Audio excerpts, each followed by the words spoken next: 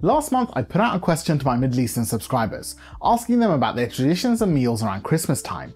I was planning a video to talk about Middle Eastern Christmas traditions and dinners, however, I ran into an issue because I don't have any footage of these traditions to show you.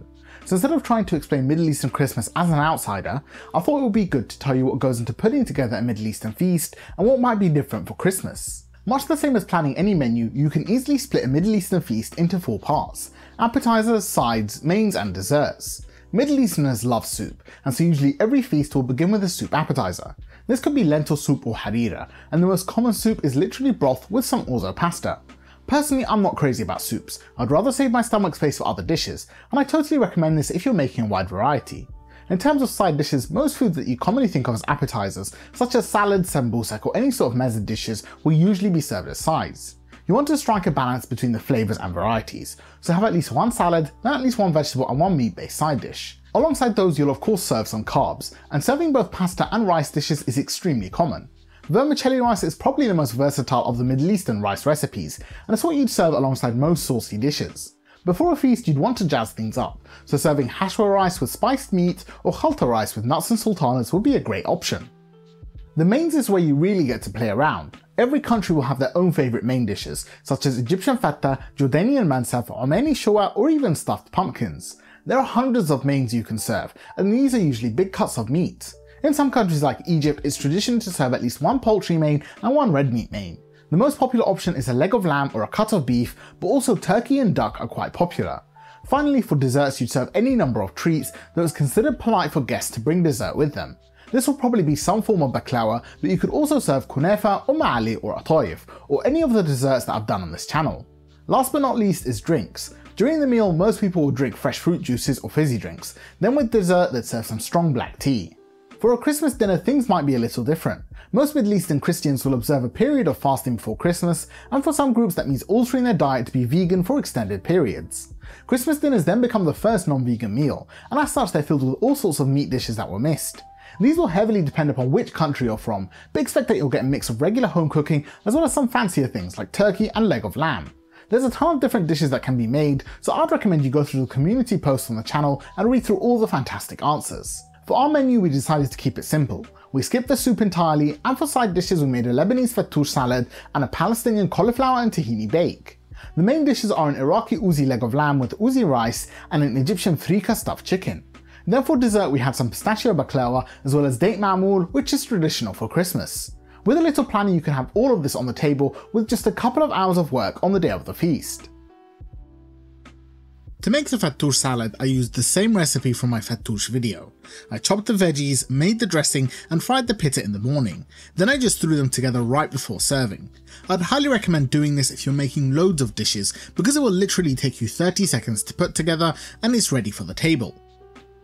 The cauliflower and tahini bake was also quite easy. You could make most of it the night before, then assemble it and place it straight into the oven. It has become one of my favourite discoveries of 2021 and we've had it 4 times in 10 days. To make it, get a 750 gram cauliflower, peel off the leaves, then slice it into individual florets. Cut any larger ones into bite-sized pieces, then place a frying pan on your stove over high heat and add in about 1cm of frying oil. When that's heated you can add in the cauliflower in batches and you'll fry it until it turns golden. A word of warning, cauliflower contains a lot of water and this will spit boiling oil at you, so I'd highly recommend you get a splatter screen to prevent nasty burns. When the cauliflower is golden on one side, flip it and fry the other side. I prepared an oven tray with some kitchen roll and when the cauliflower was golden like this, I took the pieces out and allowed them to drain. While they're still hot you should sprinkle them with some salt and then these can stay refrigerated until you need them. You also need to saute some onions for this dish, so add 2 tablespoons of olive oil to a pot over medium heat, then add 2 to 3 onions chopped to a medium dice. Saute these for about 5 to 7 minutes, stirring the pot regularly, then when they just start browning on the edges they can be removed. Both the cauliflower and onion can be made ahead of time and stored in the fridge for a couple of days. To assemble you'll need a small baking dish like this one, and to it you'll add your cauliflower in an even layer. When that's filled, add all of your sauteed onions onto the cauliflower, making sure to spread them out evenly. Now you'll pour over a tahini sauce, and this one is quite easy to make, but I don't think you can make it ahead of time. In a jug or bowl add 120 grams of tahini paste, a video over here if you want to make it yourself. Add 3 cloves of minced garlic, then half a teaspoon each of salt, pepper and cayenne. Add a quarter teaspoon of cumin, then pour in 60ml or a quarter cup of lemon juice. Finally add 350ml or 1.5 cups of water and blend the whole thing together. You need to make sure that this is properly emulsified into a loose sauce because if it isn't well mixed then the mixture can split. Now pour the entire mixture evenly over the cauliflower and it's ready to go into the oven. Bake this at 180 degrees Celsius for about 30 minutes or until the liquid has reduced and the top has browned like this. Let it cool a little, then garnish it with some parsley and you'd be surprised by the insane amount of flavour that this bite packs in. For the main dishes we had to make this freekeh stuffed chicken, and this is a classic Egyptian dish that's served at Egyptian feasts and Christmas. Theoretically you could probably do a turkey this way, but two chickens would cook better and be a lot easier. If you didn't know, freekeh is durum wheat, but when it's still in the field and the grain is yet to dry, the wheat is set on fire and allowed to burn. This speeds up the harvest process and it gives the grain a delicious smoky flavour. Just like oats and other whole grains, this does take some time to cook, but it has a great texture and it's supposed to be really healthy. Of course we'll make it less healthy by stuffing it in a chicken, but before we do that we have to marinate our bird. This was a 1kg chicken, and I cleaned it up by using some kitchen roll to remove any organy bits that were left in the cavity. The inside of my chicken wasn't looking super clean, and because we're going to stuff this, you don't want any blood left behind. I gave mine a gentle rinse and cleaned the sink, and when I was done it was looking pretty clean. Now your job is to separate the chicken skin from the meat, so using your fingers work your way around each of the breasts, then repeat it and do the same thing on the chicken thighs. Separating the skin will allow it to get really crispy in the oven, and we'll also be placing marinade under the skin for extra flavouring. You can make this marinade by blending together 2 medium onions with half a teaspoon each of black pepper and ground cardamom. Add 2 teaspoons of salt, then blend this until the onion has been roughly chopped and you have a marinade that looks like this. Take a handful of the marinade, then press it into the cavity of the chicken, making sure you spread it around all the sides. You'll take another handful and place it between the breast and the chicken skin, then repeat that with the other breast and the chicken legs. One thing to note, you'll have to remove this marinade later, so if you're having a hard time getting it in, you'll probably struggle to get it out as well. Finally, when you're done stuffing the marinade, you can take any leftovers and spread them all over the outside. This chicken needs to marinate for at least 2 hours, but I'd recommend 6 to 8 for full flavour penetration and crazy juicy chicken. To make the freekeh you'll first need to soak the grain for about 2 hours. Add a cup of freekeh to a bowl, then pour in loads of water and give it a mix. The water can get a little dirty, so you should wash this a few times until the water remains clear. When the grains have finished soaking, they'll have doubled in size like this, and then they're ready to cook. Add 2 tablespoons of olive oil to a pot over medium heat, then add a bay leaf and allow it to infuse. Once the oil has heated, add 2 onions chopped to a small dice, then saute for 4 to 5 minutes until the onions have softened. Now add in 1.5 teaspoons of salt, 1 teaspoon of black pepper, 3 quarters of a teaspoon of baharat or 7 spice, and a quarter each of cardamom and cinnamon. Mix these with the onions, then add the freekeh and give it another mix to combine. At this point add in 1.5 cups of water to the pot and it should just barely cover the grains. Cover the pot with a lid and keep the heat on medium and it should come to a light boil. Now turn the heat down to low and replace the lid, then let this cook for 45 minutes to an hour. You'll know it's done when the grains have cooked through and they have a soft and fluffy texture. At this point add in 3 teaspoons of sumac, then mix it until well combined. Now take out a few spoonfuls of the freekeh to stuff the chicken and spread it out over a plate to cool. The rest of the freekeh should be left in the pot and you should let this cook for another 15 minutes before turning off the heat and steaming it for 20 minutes with the lid on. Once your freekeh has cooled you can stuff the chicken, but first you need to remove the marinade.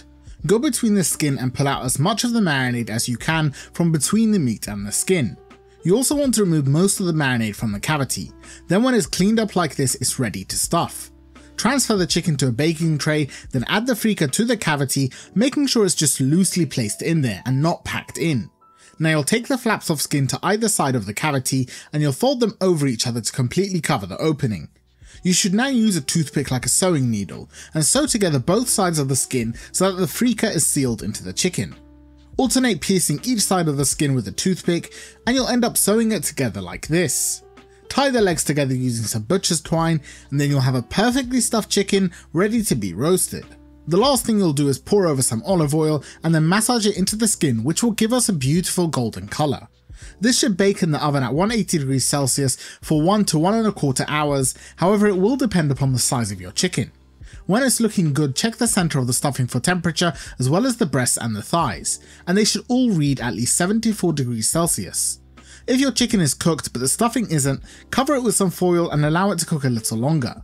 As you can see, my chicken was absolutely beautiful, and I'm honestly surprised by how well this turned out without a rotisserie. You should plate this up by filling a serving platter with the steamed freekeh, then place your chicken on top and garnish it with some fried almonds. Finally, you can top it with some chopped parsley, and I think that this is one of the most seductive things that I've ever cooked. When sliced into the chicken is extremely juicy, and as someone who loves roast chicken, this was absolutely spectacular. Of course with an amazing chicken main we had to make an equally amazing lamb one, and that's why we chose to do Iraqi Ouzi.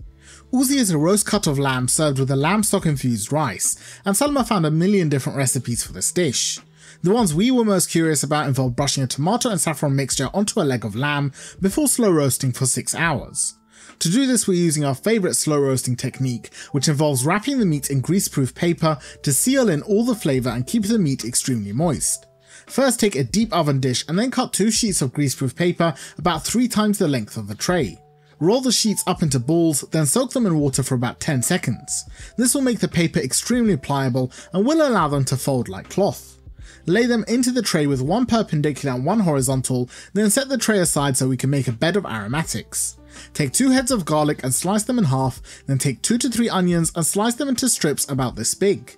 Place the onions and garlic into your prepared tray and then you'll add some whole spices you'll need about 6 bay leaves, 4 to 5 cloves, and 1 teaspoon of black peppercorns, and we unfortunately forgot to add about 8 cardamom pods. Now you'll take a lamb shoulder or leg, or whatever cut you can get your hands on, and this is about 1.5 kg with the bone in. Place this on the bed of aromatics, then you'll add on the Ouzi rub. To make this, take a pinch of saffron, this was about 20 to 30 threads, and add it to a mortar with a pinch of salt. You could also replace this with half a teaspoon of ground turmeric if you find saffron hard to come by. Grind the saffron into the salt until it has turned into a powder, then pour in some hot water and dissolve all of the saffron so that you're left with a golden liquid like this. Add in 30 grams of tomato paste and 2 teaspoons of salt, as well as 1 teaspoon of black pepper and half a teaspoon of paprika. Mix this all together into a thick paste, then add a few spoonfuls of it to the underside of your lamb.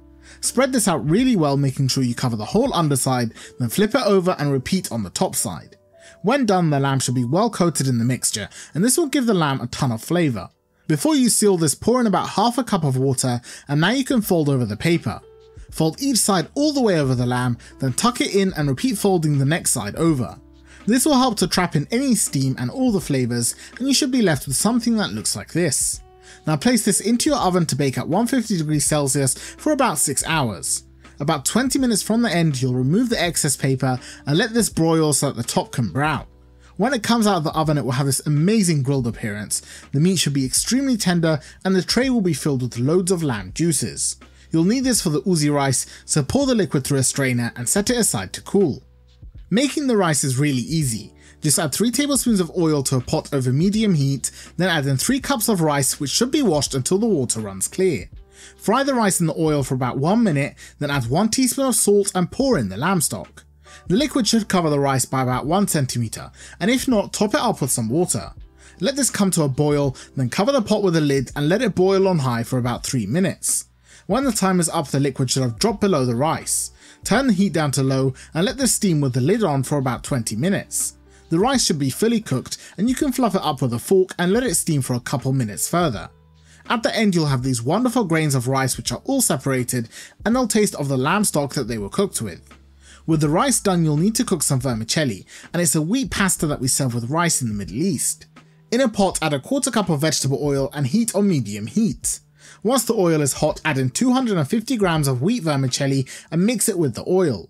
This needs to fry for about 5 to 6 minutes and during that you'll constantly need to stir the pot. Rather than mixing you'll need to use a folding motion to ensure that all the vermicelli evenly browns.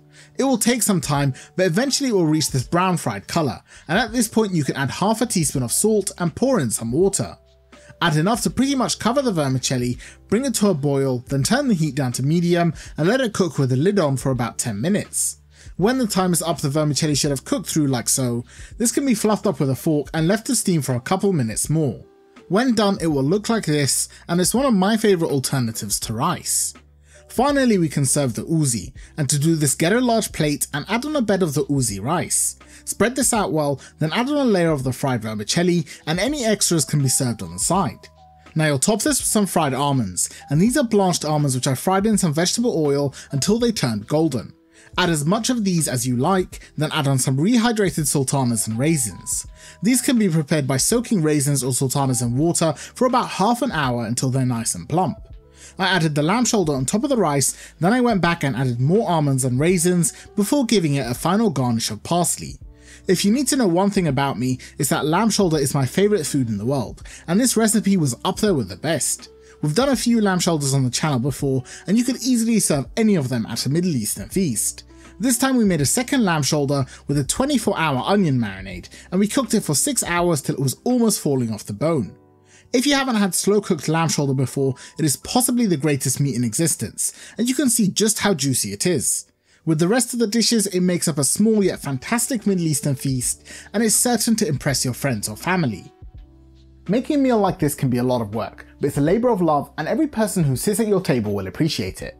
Selma and I have served many a feast in our time, and it's a tradition we got from our mothers and grandparents. Whatever you choose to serve this holiday season, consider adding a Middle Eastern dish to the table, and we hope you have a great holiday. Now click here if you want to see more Middle Eastern feast recipes.